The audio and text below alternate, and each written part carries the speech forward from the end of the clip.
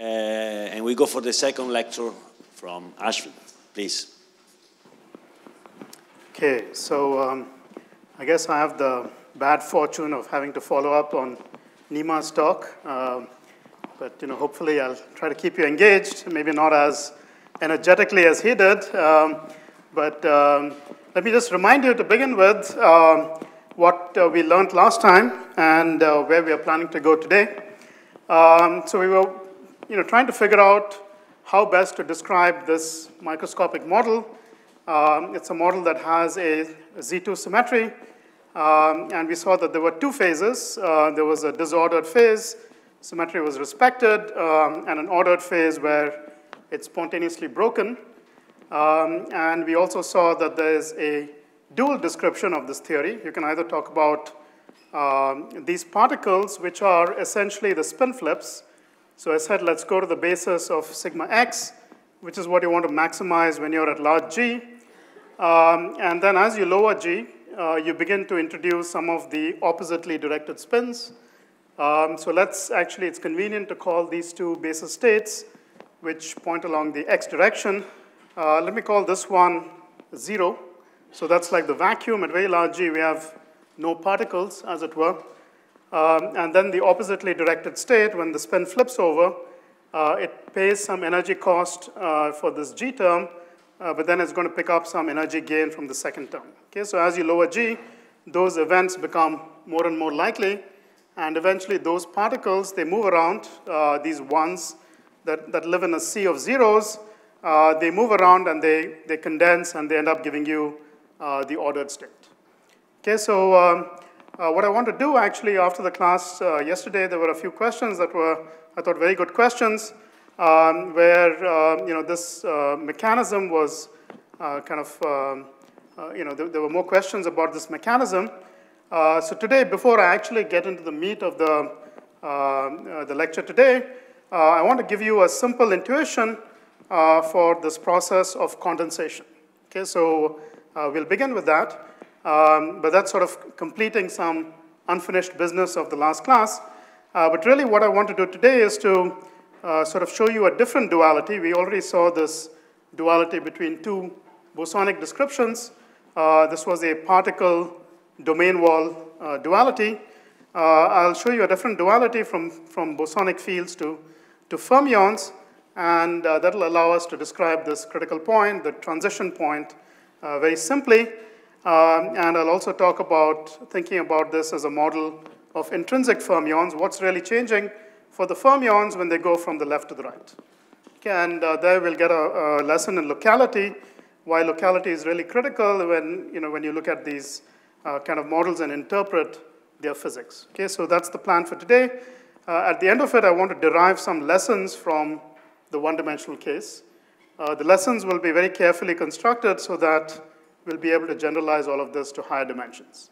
Okay, so there's a little bit of uh, hindsight involved over there, uh, but I'd like to distill all that we learned into some lessons that we're going to apply next time to the 2 plus 1 dimensional situation. Okay, so, um, uh, so let me just uh, begin by giving you a little more intuition as to how this uh, symmetry breaking proceeds. Uh, I, if I imagine beginning at very large g and lowering the coupling constant. Okay, so, um, so the way in which you get a broken symmetry state uh, in this language, okay, a very simple model of it uh, is the following. Uh, at every site, uh, you can imagine that there is a single uh, state uh, that is repeated. Um, okay, so I have a product over all sites. Okay, and if I'm in the limit of g very large, uh, I have just the zero state. Uh, but imagine that I spontaneously develop uh, you know, some, some amount of the one state on every site. Okay? Uh, and I'm going to suggestively label this amplitude phi. Uh, we're going to see it's very close to the phi field we had uh, in this um, you know, phi to the fourth theory that we wrote down last time. Okay, let me try to normalize this. Um,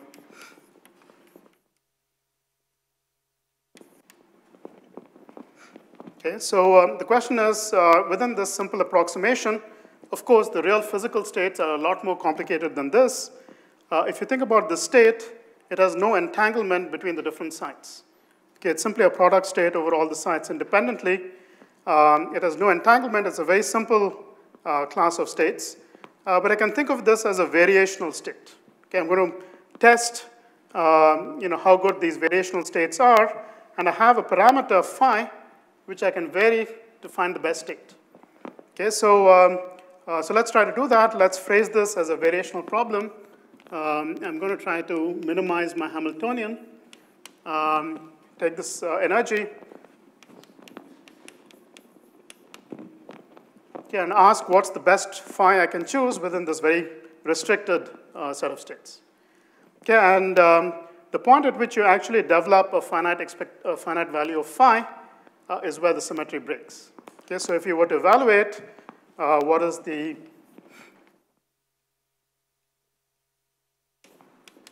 Okay, so this is essentially, if I think about small phi,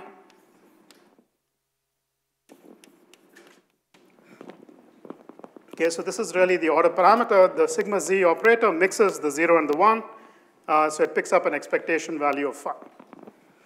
Okay, so as soon as I develop uh, non-zero phi in this, in this uh, set of states, uh, it means that I've broken the symmetry.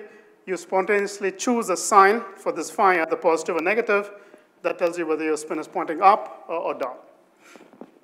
Okay, so let's try to evaluate what the energetics of this uh, system is. Um, so if I look at the average uh, energy of the Hamiltonian, there are two terms. Okay, so the first term uh, is this product, sigma z, sigma z product. Uh, and within the simple ansatz, there's no co uh, correlation between the different sites. It just looks like a, a product of the um, terms on a single site. Uh, I'm going to do the expansion for small phi. Um, and in the, the lecture notes, I have it for a more general case, but uh, let's just do this here. So of course, the, there's an advantage to having some non-zero phi because it gives you some interaction between the neighboring spins. Okay, that's why you want to eventually develop some of this phi. Okay, but there's a, uh, there's a cost. Uh, the cost is that um, the expectation value of your uh, sigma x operator uh, is going to go down. Okay, you're putting in these uh, high excited states, uh, you're inserting them into your ground state. There's going to be an, an, energy cost for that. Um, and this is going to go as, there's some number over here. I'm not going to try to calculate that in this, at this point, but there's some number, one half or something like that. and there's a reduction uh, of the overall sigma x uh, field. Okay, and then there are higher order terms in phi. Uh, of course, only the even powers of phi appear over there. So there's something of order phi to the 4, and so on. So it's good to keep track of all of them, but uh, for my purposes, it's, uh, this is sufficient. Uh, so what you find is that you have some term which is um,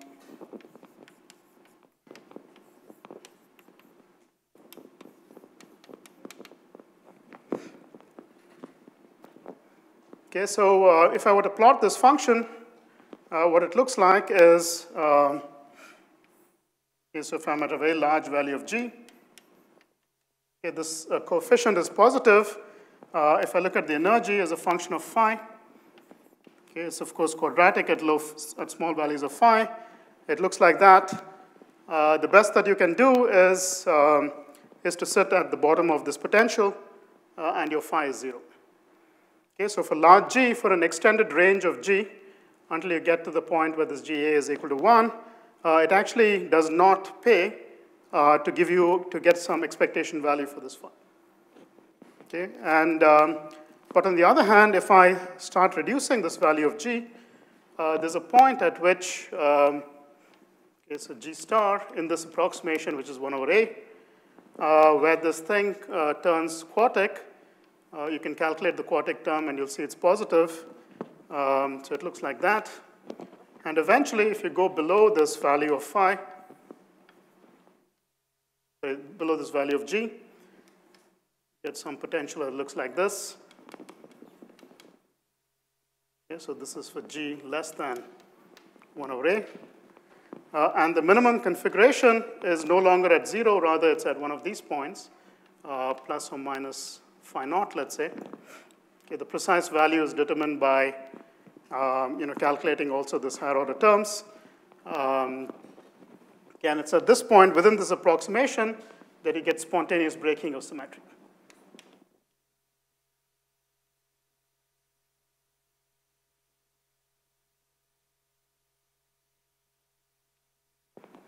Okay, so that's um, uh, you know, not a very uh, accurate approximation if you actually figure out what point this is. It's not at j equal to 1.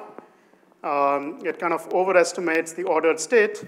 Um, but nevertheless, it gives you the right qualitative picture uh, that there is a transition where you get uh, spontaneous symmetry breaking. Okay, so just to make contact with what uh, Nima said in his talk, uh, he mentioned tensors. Um, so it turns out that there's a way to make this approximation more and more accurate. Uh, so we said we had a variational state uh, that looked like this, where, where, the coefficients of these two were just numbers, right? Um, and the problem with that um, kind of approximation is that there are no, there's no entanglement between the different sides of your chain. Okay, these are literally different states that you just plug in on the different sides. Okay, so you can do better um,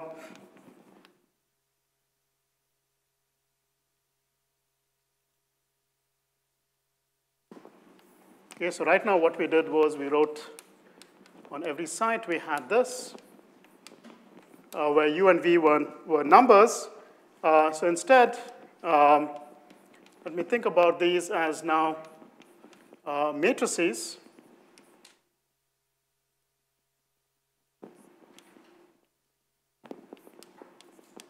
Okay, and this um,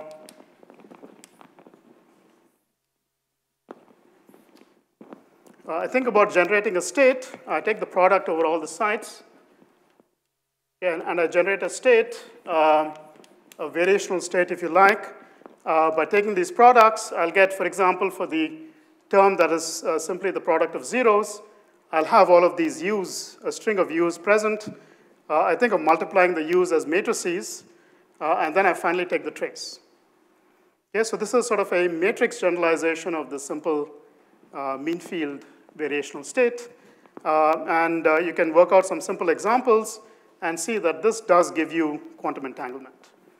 Okay, so this is really how people try to simulate uh, these models. Um, they write on a variational state for the ground state, uh, and you make these matrices bigger and bigger, and you get a better and better approximation uh, to the ground state of your system. Okay, so, um, so this is sort of a systematic way, at least in one dimension, it's believed to work extremely well, uh, especially when there's an energy gap. So as long as you stay away from uh, this critical point, uh, you can get a very good approximation of the ground state uh, by writing down these type of variational states. Ah. So the, the first non-trivial generalization is to take two by two matrices. Okay, but in general, the U's and V's are going to be some So some chi by chi matrices. Okay, and uh, the bigger this chi is, the better the approximation to the exact ground state. Okay, so chi is one is just this simple mean field theory. Uh, if you use two by two matrices and then you optimize, you take the energy and you optimize these two matrices, uh, you get the first correction to mean field theory. Uh, and then you keep, keep going, make these larger and larger, and there are theorems that tell you how big you need to go uh, to get a very close approximation of the ground state. Yeah, and in fact, you don't have to go very large. So it's a good exercise to just start with two by two matrices and see that this gives you, you know, some state that has quantum entanglement. Okay, that's actually what I do in the notes. Uh, you know, for example, pick U as sigma x and V as sigma y, and you'll see the state has got some non-zero quantum entanglement. Yeah, so that's a nice exercise. Um, you just take two sites, take U as sigma x, Is sigma y. These are just some other Pauli matrices, not, not related to the spins. Um, and you can show that this gives you the, um, just a EPR. Okay, so if you follow this prescription for a pair of sites with those U and V matrices, you get a correlated state. Okay, so that's sort of an aside um, before we talk about our, um, you know, the main, main topic, which is to go towards uh, writing down this Bose-Fermi duality. Any questions about this basic phase diagram? Okay, so okay, so now let's introduce these fermions. Okay, and um, again, the details you can find in the notes. Um, but the idea is that you can introduce these fermions that live on the sites uh, by taking products okay, of this uh, spin flip operator. Uh, this creates uh, goes from a zero state to a one state and vice versa, and taking the product with a domain wall creation operator. Okay, so physically this, um, uh, this fermion operator is, uh, it flips a spin and it attaches a domain wall.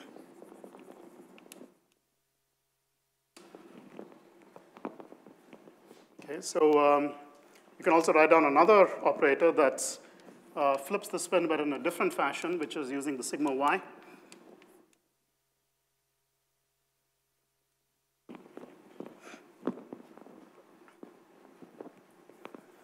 Okay, and you can verify that these are actually uh, Majorana fermion operators. Uh, these are real fermions.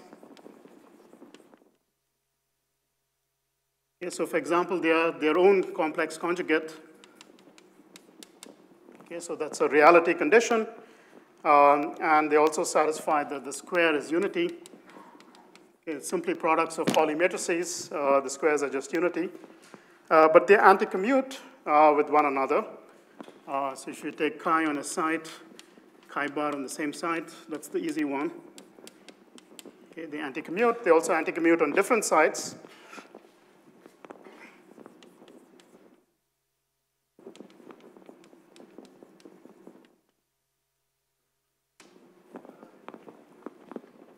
Sorry? Ah, tilde, yeah, sorry. So I'm trying to avoid bar because it looks like it's some sort of complex conjugate. It's not, it's just a different fermion. Right. Okay, so these are uh, Majorana fermions. You can construct a complex fermion from them. If you wish, you can construct C dagger on every site, which is just chi plus i times tilde. Okay, and the number of these complex fermions, uh, you know, if you go back and see what it means, uh, the state zero is no fermion. Uh, the state one is one fermion. Okay, so on the single site level, there's a sort of a direct mapping to just the zero and one basis states. Uh, but when you look at this on, uh, on a chain with many sites, um, there's an additional factor, phase factor that comes in, uh, the string, uh, which is going to uh, make this fermion operator different from just the operator that looks at one site and you know, goes between these two. Okay, so there's a bosonic operator that only changes one site, only cares about one site, goes between 0 and 1. Uh, that's this operator sigma z. Uh, the fermion operator also does that, but it's sensitive to all the occupation numbers on the different sites. Okay, so uh, that's what gives you all the weird properties of fermions. Uh, they're really not local operators when you think about the fact that they anti-commute rather than commute on different sites. Okay, so those are the fermions. It's good to verify all of these uh, anti-commutation relations. Um, physically, it'll tell you why binding a charge uh, to a defect, that's really the domain wall, why this combination uh, is a fermion. And we'll see that that carries over to higher dimensions. Um, in two dimensions, we're going to look at defects that are vortices. We're going to bind a charge to the vortex, and you'll see that that's a fermion as well. And same thing happens in three dimensions as well. Uh, if you have monopoles, you bind charge, you get fermions. Okay, so that's a very general kind of um, uh, you know, outcome, um, and it's kind of good to see it in the simple context. Okay, so the whole point of, of uh, introducing these fermions uh, is to go back and rewrite the Hamiltonian uh, in terms of the fermions and uh, you'll see that something pretty amazing happens. Uh, we'll get an extremely simple looking Hamiltonian that we can solve exactly. Okay, so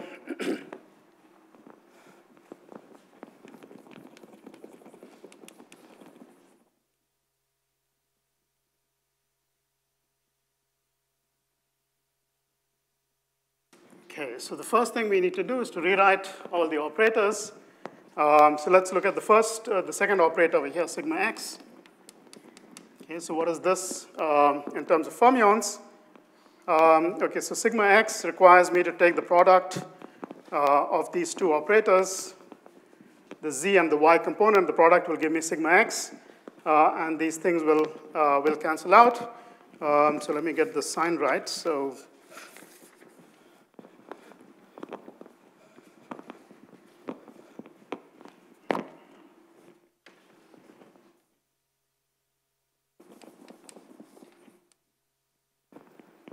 Okay, so that's the sigma x operator.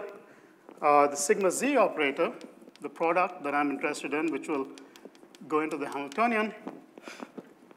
Okay, so this is um, going to involve the two sites, um, and this is just chi i, i tilde, i plus 1. Okay, so again, that's a simple exercise. Um, you get the chi tilde uh, because you it's, it's good. You're going to get a little bit of the string now. Uh, you're looking at two different sides, so you get a bit of the string. Uh, it changes one of the sigma z's into a sigma y, ends up giving you one of these chi. Okay, so those are the two terms that are going to appear. Um, and the interesting thing is that both of them uh, are actually quadratic uh, in the fermion operators. Okay, so these are just canonical fermions, and my Hamiltonian is just a quadratic function uh, of these fermions. In other words, you can solve it. Um, it's exactly solvable, uh, and we'll see what this uh, the solution turns out to be. Okay, so, okay, so let me take H. Um, I think I have minus signs for both of these.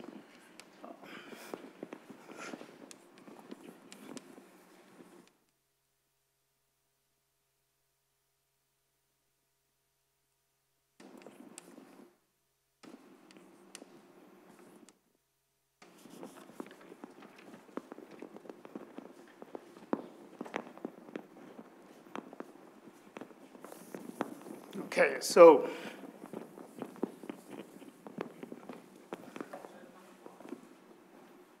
sorry.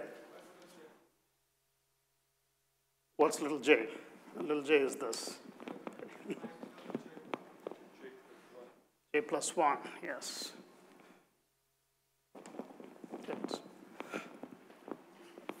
Okay, so let's write this out pictorially.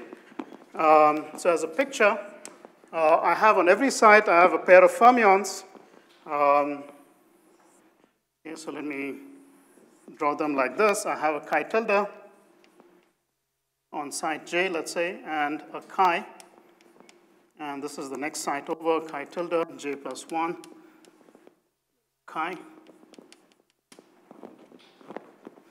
Okay, and uh, the two terms are doing two different things.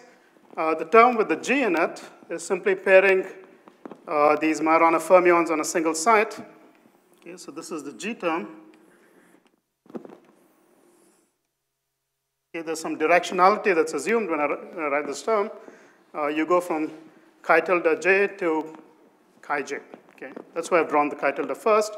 And then I have the other term. Let me draw it as a double, double line. So that's like the j term. Okay, this is the zz term. Okay, that actually couples the different sides together.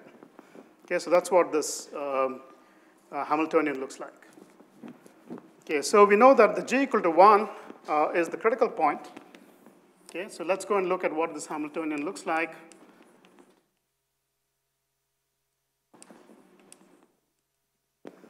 Okay, when I set j equal to 1, well, then both of these uh, couplings are exactly the same. It makes no distinction of pairing fermions within a site or pairing them between the sites. Okay, so we also saw that g equal to 1 corresponds to the self-dual point. Uh, and actually, self-duality in terms of these fermions is extremely simple. Uh, it simply means that you group these fermions in different ways. Okay, so this was one grouping of fermions within the sites. Uh, but if you wish, you could do an unphysical grouping, uh, which is to take uh, the pair like that. And if I rewrite my theory in terms of those pairs, uh, that's actually the dual theory. Okay, so the, everything looks really simple in terms of these fermions. Um, and in particular, this, the critical point at g equal to 1, let me call that hc. It looks just like that. Okay, so now you can sort of exploit the fact that everything is invariant. Uh, it kind of makes sense to not label things by the sites anymore, uh, but let me introduce these new fermions. So this is chi tilde i. Okay, so I have uh, uh, these etas that are uh, on this lattice with twice as many indices um, because I'm going to take chi tilde and chi and you know, put them into correspondence with these etas. Uh, and at the critical point, I get a very simple Hamiltonian. Um, it's just I sum over all these indices. Let me call them, uh, let me call it R. R.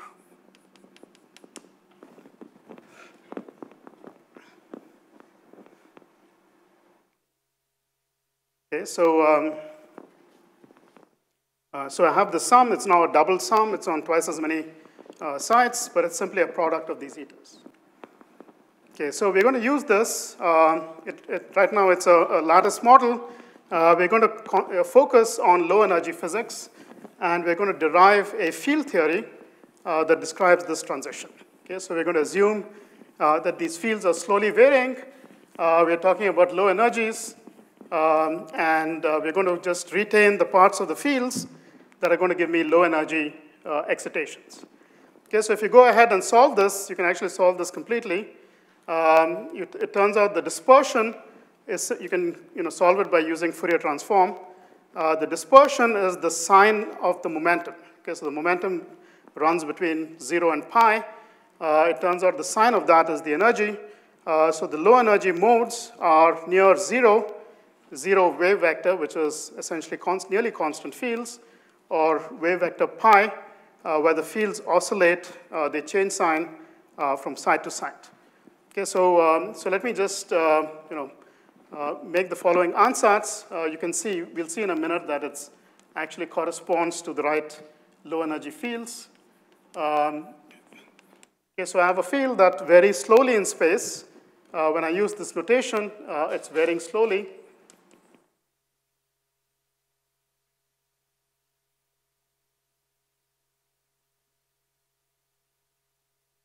And there's another one that actually varies rapidly, but I take out the rapid variation. Okay, so this is also slow. Uh, and this accounts for the fact that there are fields which change sign from side to side, but they're also low energy fields. Okay, so I can pull out that dependence, minus 1 to the r.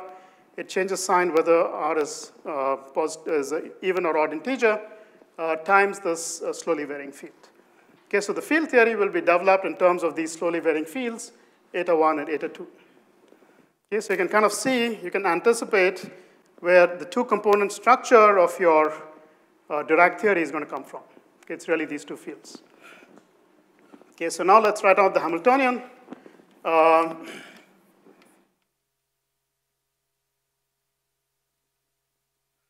okay, write out this product. So it's eta r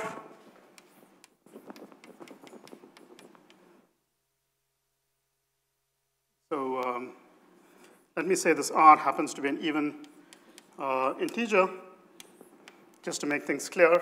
Um,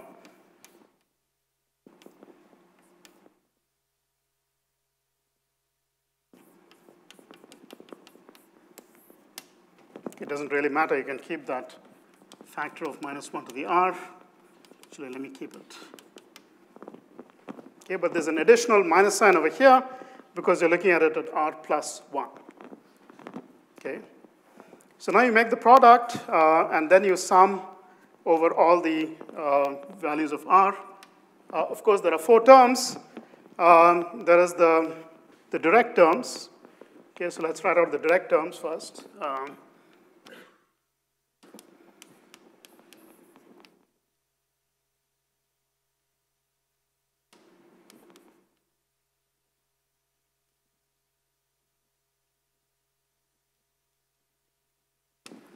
Okay, so that's the direct term. Uh, there's a relative minus sign again because this is a rapidly varying field, a change sign between r and r plus 1. And then you have the cross terms. Okay, there's an eta 1 times eta 2, both of which are slowly varying, uh, and their product is multiplying something that's rapidly varying. Okay, so when you do the sum on r, uh, there's no Fourier component in this product that can cancel minus 1 to the r. Okay, that really oscillates on, this, on the scale of a lattice. So all the cross terms will vanish when you do the sum. Okay, so that's really just saying that there are two slowly varying fields, and they're at such different momenta that they don't mix. Okay, so that's the uh, result after doing the sum. You only have these two terms. You do not have the cross term. Okay, we'll see later when the cross term comes, um, but at this point, I just have this term. Okay, so we said that these are slowly varying fields, so I can make a Taylor expansion. If I have eta 1 at r plus 1, I can approximate this as eta 1 at r plus a derivative. Okay, and uh, if you want this to be a length scale, this derivative should be the half the, essentially the lattice spacing. Um, but there's a derivative that tells you how much this field changed.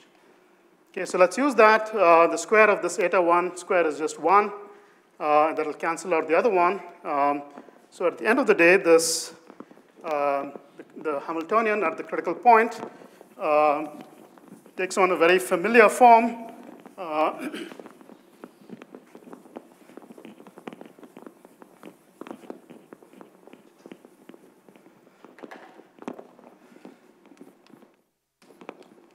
Okay, so eventually this uh, j will become some velocity, um, call it vf.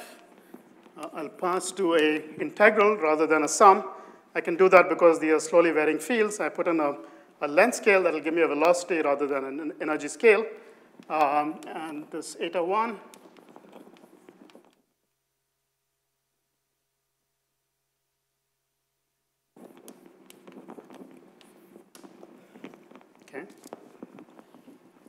Okay, so I can make this look even more familiar by writing down a two-component field.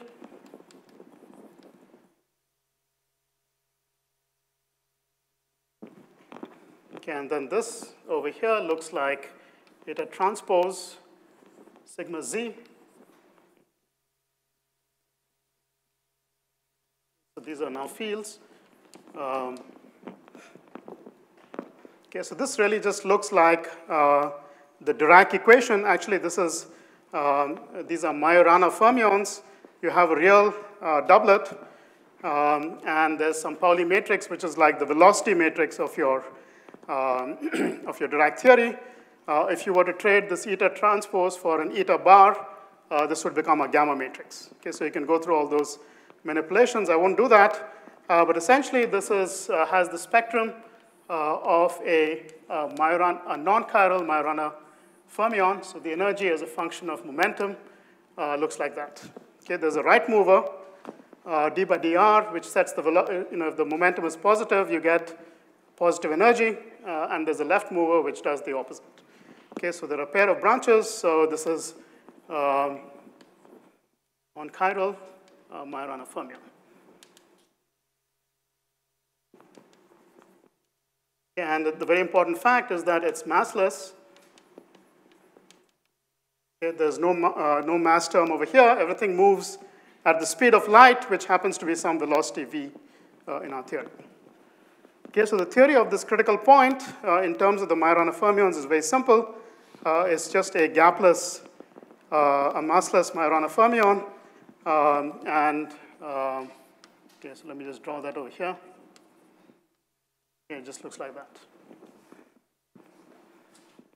Okay, so um, so there are two descriptions we now have for this theory. One is the to the fourth theory with the quadratic term switched off in terms of the boson strongly interacting, or I just have a free theory in terms of the Majorana fermions. Okay, so, um, so the next step, of course, is to ask what happens uh, if I move away uh, from exactly the critical point. Okay, if I move away from this point, j equal to 1, um, how does this change? And that will allow me to read off critical exponents. Um, the exponent, for example, that's controlled uh, by changing this uh, coefficient g. Okay, so example, how does the, if I move away from this point, I get a finite length scale. Um, the correlation functions are not completely long-ranged. Um, they have some exponential decay set by a length scale. And one of the critical exponents is how that length scale is set by the deviation uh, from this g equal to 1 point. Okay, so we'd like to figure out the anomalous dimensions or the dimensions of various operators uh, of this, at this critical point. Okay, so, uh, uh, so let's see what the, let's try to write down the field theoretic description uh, of the term that moves me away from this g equal to one point uh, if I were to reinsert the g over here. Okay, so what happens uh, when I have the g back in there? Okay, let's imagine this g is very small, a small deviation from unity, uh, and what happens then is that these two bonds are no longer equal. Okay, so this bond is slightly different from this one because G is not exactly 1. Okay, so the additional term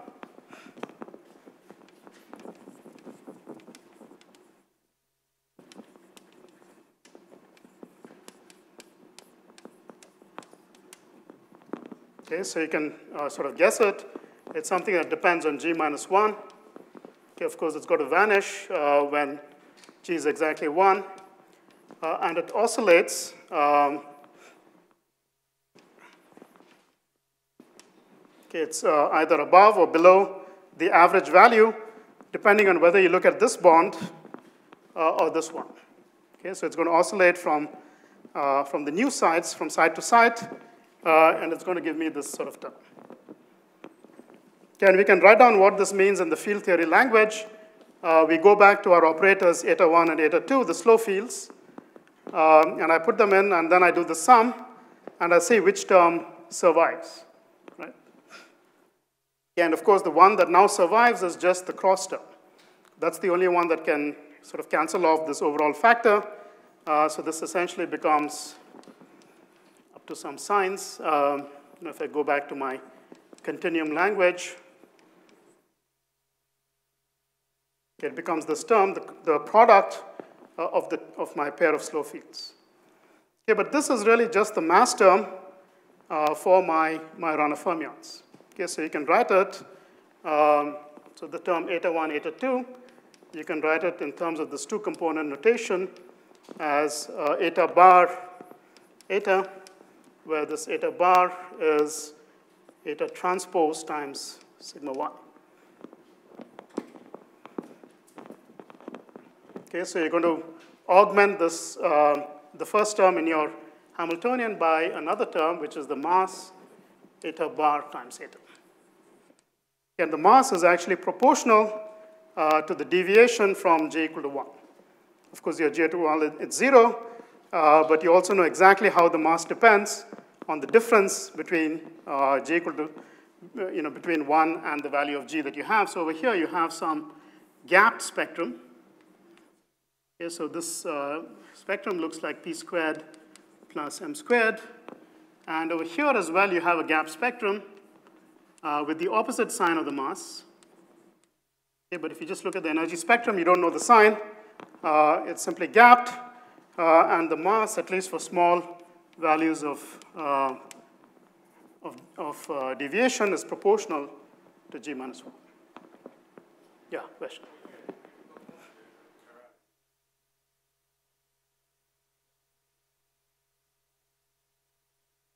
Um, so when you say, okay, let me repeat the questions, and I, have to understand this question. So you say, at the critical point, there's a chirality. So what do you mean by that?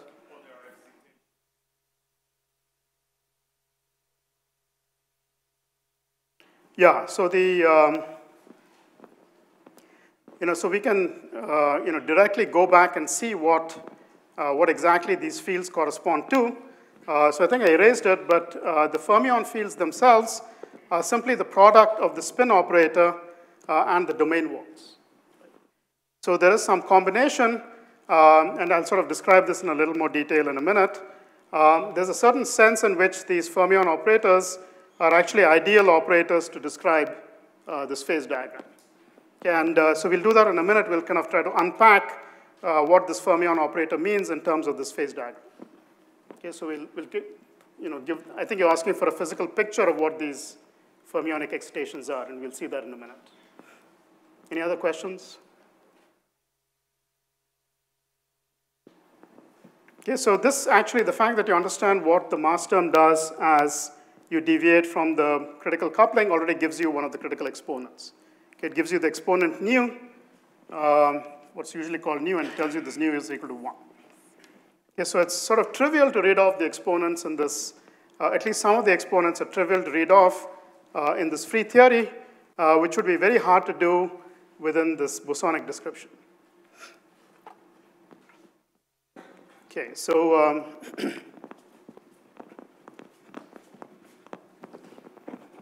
okay, so one of the questions is um, how do I understand uh, these fermion excitations, how they correspond to things that are more readily visualized, uh, either in terms of spin flips or in terms of the domain walls. Okay, so what are these fermions?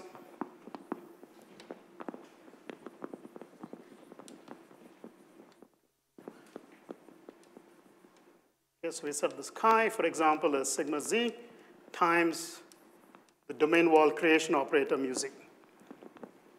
Okay, so let's just look at this operator and some limits. For example, um, let me look at it on this part of the phase diagram where I'm deep inside the ordered phase. Okay, so deep in the ordered phase,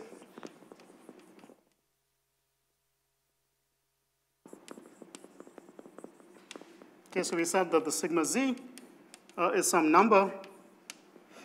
Okay, there's some expectation value to the sigma z operator. Uh, so when I look at this uh, fermion operator, it's a product of these two. But essentially, the first one is just a number. Right? I can replace it by its expectation value. And what happens is that the fermion begins to look more and more like simply a domain wall operator. Okay, so on this side of the phase diagram, um, you can erase this.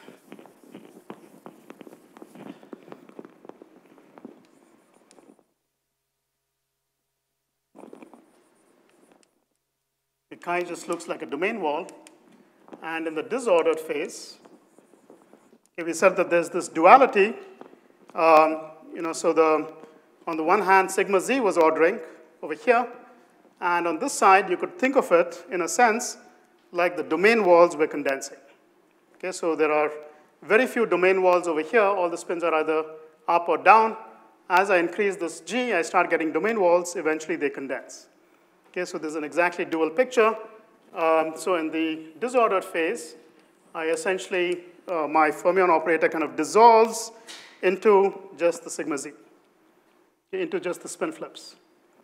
Okay, so this operator has been designed such that in the two extreme limits, either on this side or on that side, uh, it matches up with the operator that produces the excitations. Okay, so for example, if I had this vacuum, if I wanted to create a single Z2 spin flip, I'd operate with the sigma Z operator. And that's exactly what the fermion does in the limit that you approach deep into this disordered phase. Okay, and similarly on this side, um, the fermion becomes just the domain wall, which is the, the simple excitation in your phase. Okay, now, of course, at the critical point, things are complicated because neither of these two is a good description. Yeah, it's only the bound state of them that ends up being continues uh, to be a good description. Um, you know, some string operator that creates a domain wall attached uh, to a spin flip.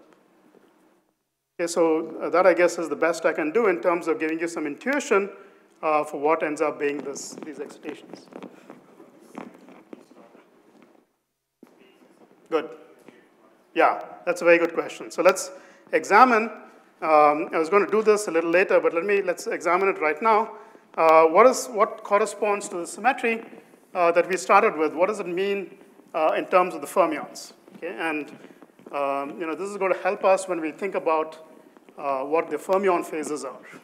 Okay, so symmetry, okay, in terms of the spins, uh, we said there's a generator, which is this product of sigma x.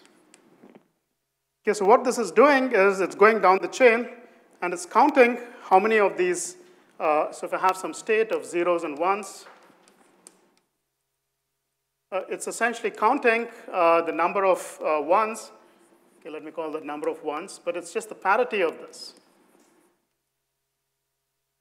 Okay, that's what this operator in words does, right? It just, uh, every time there's a one, it gives you a minus sign, uh, and that product will give you the, the value of the symmetry generator. Okay, so, um, uh, so if you see what that means in terms of fermions, we said that every time there's a one, that's like having a fermion. Okay, so this G is nothing but the fermion parity.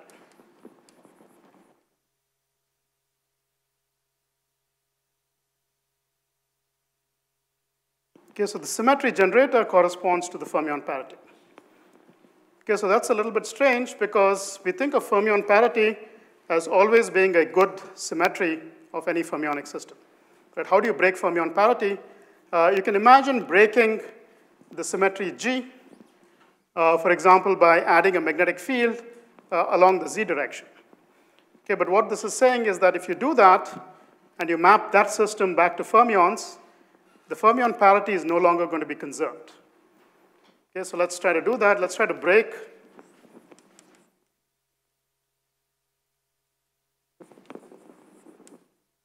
Okay, so there's a term uh, which is, for example, just sigma z on every site. okay, now we have broken the Z2 symmetry. Uh, if I conjugate with G, uh, this term changes sign. Okay, so what does this correspond to in terms of the fermions? Well, that's going to be an extremely non-local object. Uh, but for example, the term which is sigma z at the last site, uh, let me call it n, okay, this corresponds to simply the Majorana fermion chi at the site n. Okay, and other terms, for example, um, you know, sigma z at the, the first site will be chi um, at the first site, and then product of minus 1 to the nj, where j is on all the sites greater than 1, all the way up to n. Okay, so each of these is going to give me something with a single fermion sitting there times some, something that's measuring parity of fermions for some other set of sites. Okay, but this is a particularly simple one. There's no string attached because it's at the very last site. It tells you once you break the Z2 symmetry, you're allowed to add just single fermion operators to your theory. Okay, so that would be a disaster if these were real, this was a model with real fermions. Okay, if this was a model with real electrons, we're certainly not allowed to add a term in the Hamiltonian, which is just a single fermion term. And the reason you're not allowed to do that, one way to think about it, is that fermions, uh, the fermion operator is not a local operator. Okay, it doesn't commute on different sites, the fermion operator does not commute, and we are told that um, uh, a field theory or a you know, Hamiltonian of a physical system has to be local. Right? It should only involve local operators. Uh, and you seem to be violating that when you simply add a single fermion operator. And the resolution, of course, is that these fermions are not the physical degrees of freedom of our system. Okay, we started with spins. And the demand is that the physical degrees of freedom obey locality. And what we wrote down is a perfectly local Hamiltonian, both those terms and the one we added are perfectly local in terms of the spin degrees of freedom, or the bosons. Okay, the derived fields, these chi's, uh, which we used as an, uh, you know, as an aid to solve the problem, uh, are not physical degrees of freedom. Okay, and therefore, we have no reason to demand that the Hamiltonian is local in terms of that. Okay, so uh, this locality um,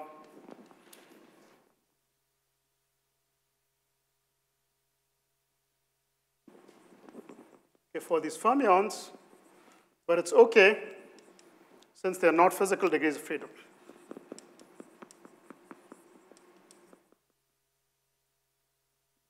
Okay, it's only when you uh, go back to the spins uh, that you have this very strict demand that the local operators uh, of which your theory is constructed also appear in a local fashion uh, in your Hamiltonian.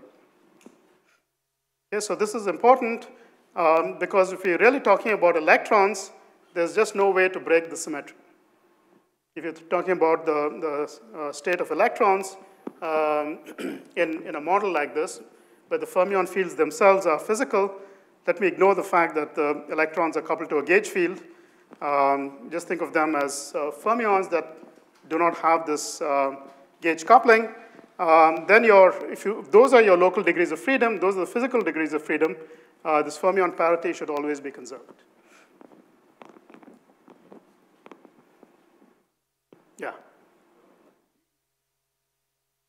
Yeah.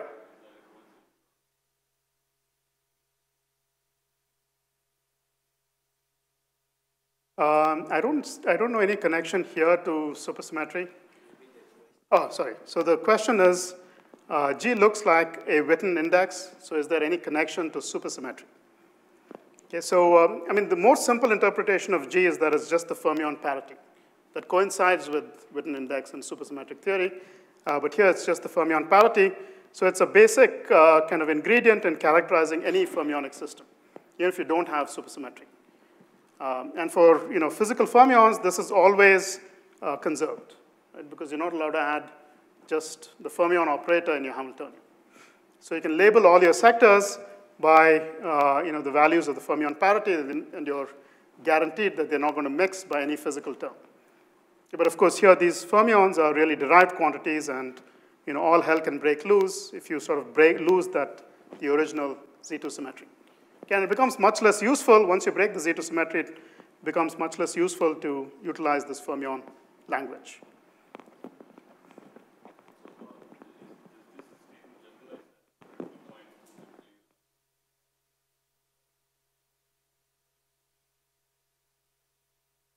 And, and charges, essentially, yeah, that's right.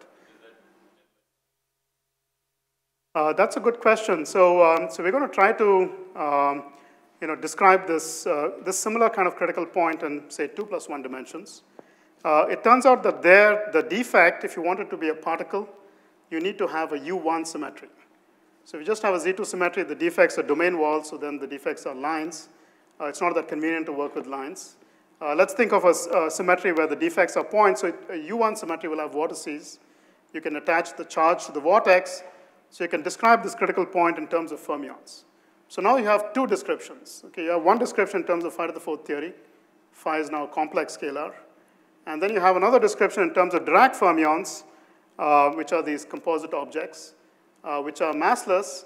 The thing that's different in 2 plus 1 dimension is that's not a free theory. That theory is actually coupled to a Chern-Simons gauge field. Uh, so it's, a, it's an interacting theory. So on both sides, you have interacting theories. You have a to the fourth theory, and you have you know, fermions coupled to a gauge field. And so now it's you know, a question of taste, which is you know, your preferred variables. Here we have a clear choice because these were really free. So there, there's, that's the beauty of 1D that you know, everything becomes simple and uh, it's just this. Another question? Or? Okay, so, um, so another point that I can mention uh, since uh, it came up is what happens to this theory when I add, um, you know, add this uh, particular term, uh, add this magnetic field along the z direction. Okay, so one very interesting thing that happens is that if I look at domain walls, um, you know, we said before that domain walls, the only cost of the domain wall was uh, where you reverse the spin. Okay, so if I had a pair of domain walls, uh, the energy cost of this configuration doesn't depend on how far apart these are. The energy cost is just you know, a penalty here and a penalty there. Okay, but now, if I apply a, a magnetic field along the z direction, uh, it definitely prefers all the spins to be up rather than down. Okay, so this pair of domain walls will have an energy cost that depends on their separation. Okay, so if I have a field, a field along the z direction, the energy cost of this pair of domain walls will be the field times the separation, let me call it delta R, between these domain walls. Okay, so there's a potential connecting the pair of domain walls which increases linearly with separation. So that should remind you of quark confinement. Uh, these domain walls are no longer free particles. In fact, they get bound up. Okay, so people who do experiments on these kind of materials, uh, they can work in the limit where there's no magnetic field. They can see that there are these domain wall excitations that move around. You put on a weak magnetic field, they're still kind of free, but once they kind of go beyond a certain distance, uh, they realize that they have the string uh, you know, connecting them and they kind of bounce back. Okay, and then you get the se sequence of bound states, um, you know, very much like the you know, meson resonances and they can see that in neutron scattering where they can excite these sort of uh, resonances. And there's a very interesting prediction that if you apply a magnetic field right at the critical point, a very weak magnetic field, uh, these bound states, this sort of sequence of excitations, uh, they form a representation of a very large group uh, called the E8 group. Okay, so there's a, a, lot of beautiful mathematical physics, even in this very simple model, once you turn on a magnetic field along the z-axis. Okay, now, of course, all of that physics cannot be exposed uh, using free fermions, okay, because the minute you turn on the z, z-axis magnetic field, you have to deal with terms like this sitting in your Hamiltonian. Okay, extremely non-local terms that involve uh, operators on you know, pretty much all the sites in your system. Uh, so it's no longer a tractable theory as soon as you lose the, the fermion parity symmetry.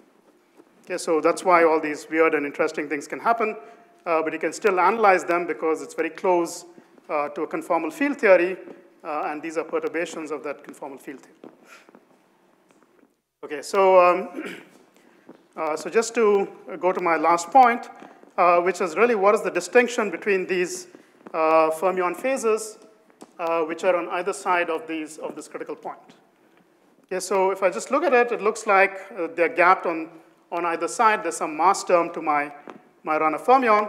But we said that it's unlikely that we get a phase transition without something changing in the phase itself. Okay, so something must have changed. Uh, what is the character that changed across this transition? Um, and we'll see that that is really a topological distinction uh, between these two phases. Shall I? Actually, how much time do I have? I kind of lost track of the time. Two minutes, that's all I need. Yeah.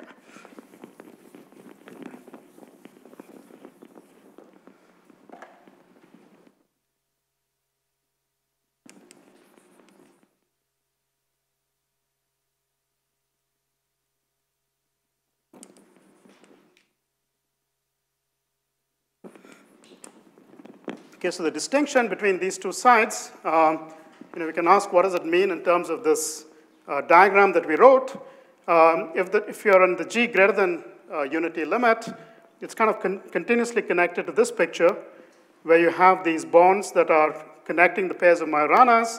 They combine into a, into a pair of states um, that simply get a gap. Okay, so uh, the g greater than 1 is simply a gap state. Uh, and we'll call it a trivial state because it essentially just involves the physics on single sites. Okay, we're really not communicating between the different sites, so there's nothing very physical that can happen, nothing many-body-ish that can happen in that limit. Okay, but on the other hand, if I go to the opposite limit, where I switch off G, and I only have this term, it kind of looks the same. You know, you pair up, pair up Majorana fermions, you know, this pairs with the next one, except uh, you see that this one is left unpaired. At the ends of this chain, um, you know, there's another one out here, okay, where the, the Majorana fermion has no neighbor to pair with. Okay, so this is chi L, chi N, let's say, and this is chi 1, chi tilde 1. Okay, so uh, G less than 1, okay, it all looks gapped in the bulk. Okay, but there are some zero modes at the ends. Uh, there's a single Majorana zero mode at either end. Uh, there's a Hamiltonian which you know, couples all of them except for the first and last Majorana mode, chi tilde 1 and chi n. Uh, there's no coupling between them. Actually, in fact, there is a very tiny coupling uh, that arises from some exponential um, you know, sort of uh, uh, coupling between them, something that's exponentially small in the length of this chain okay, because there's an energy gap in the bulk. Uh, there's a little bit of tunneling. You can get to the other side and come back. Uh, there is some coupling, but this will go to zero uh, as a function of the number of sites in your system, uh, which is exponentially decaying uh, in the length of the system. Okay, so apart from that, if I just set that equal to zero, uh, every eigenstate of my Hamiltonian will have a twofold degeneracy. Okay, it really doesn't care what I do with this pair of Majorana fermions. Uh, I can put the pair, you can think of this as a complex fermion that can either be 0 or 1, and the energy couldn't care less which you pick, whether you pick 0 or 1. Okay, so this is, uh, if you like, a topological degeneracy. If you actually had electrons, uh, you made an electron chain with this particular Hamiltonian, uh, then you would find that if you had an open chain uh, with some boundaries, uh, there's a twofold degeneracy of my um, chain of electrons. Okay, so there's a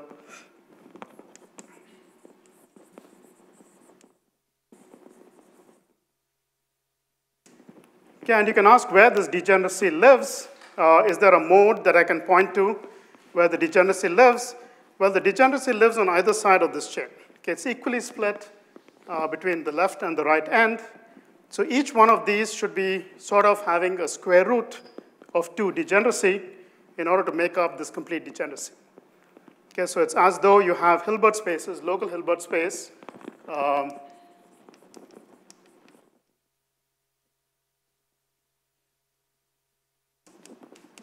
okay, because this degeneracy, the minimum degeneracy that you can imagine is actually split uh, between the opposite ends of the chain. Okay, so people think this is a very good way of storing quantum information. Uh, if you put this, um, uh, you know, put this in a state of either zero or one, the environment cannot really read this uh, state of your system. If it wants to read the uh, state of the system, it has to apply some operation on this end, and then coherently apply it at this end as well, and then read out this information. Um, so this is a protected uh, qubit. Okay, so it's protected against certain kinds of errors.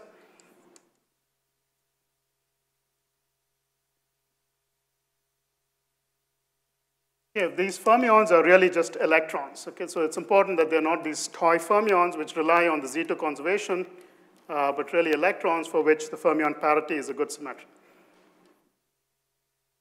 Okay, so people have actually constructed this in the lab after sort of much effort. Uh, we now have these chains, these superconducting chains, uh, which are seen, which are you know have been observed to have this twofold uh, degeneracy. Okay, so anyway, so maybe that's a good place to stop and take any further questions.